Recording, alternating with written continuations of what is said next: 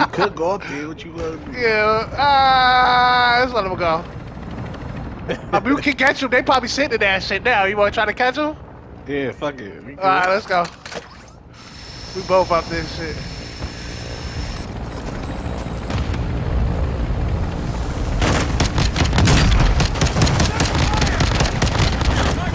That's what I'm talking about, nigga.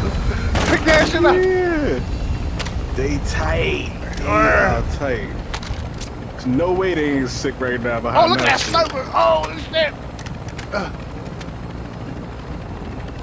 Yo, Hell yeah. ain't no way they ain't sick behind that.